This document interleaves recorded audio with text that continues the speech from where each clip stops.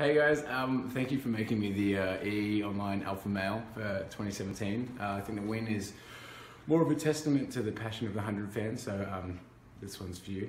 But um, yeah, thank you very much. It's, a, it's an honour. Um, don't know how much of an alpha I am. Can't even get this one to sit, but yeah, thank you. Hey, hey.